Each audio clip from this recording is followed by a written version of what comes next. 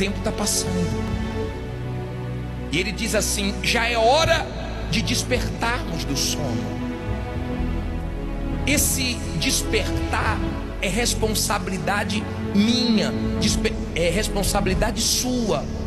Quando a Bíblia fala em Efésios, ele diz assim: Desperta, ó, tu que dormes, é tu que tem que despertar.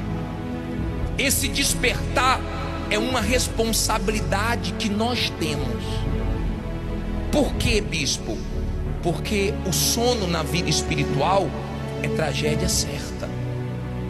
Claro, Deus nos ajuda. Como assim Deus nos ajuda? Lembra quando todas as dez virgens dormiram? Na parábola das dez virgens, quantas dormiram? Todas. Aí a Bíblia fala: Eis um grito, eis o noivo. E Deus grita para nos ajudar.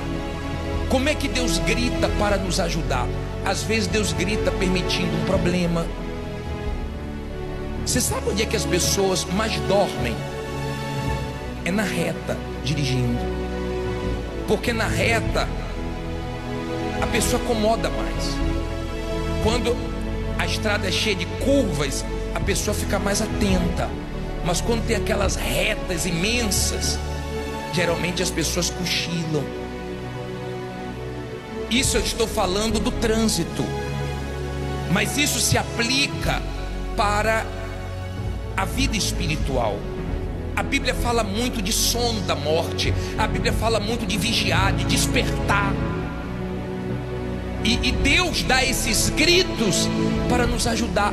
Então Ele permite os problemas, porque nos problemas a gente ora mais, nos problemas a gente se apega mais com Deus, nos problemas nós nos fortalecemos mais. Quantas pessoas, depois de uma vitória, elas baixaram a guarda cochilaram e o diabo passou a rasteira nelas.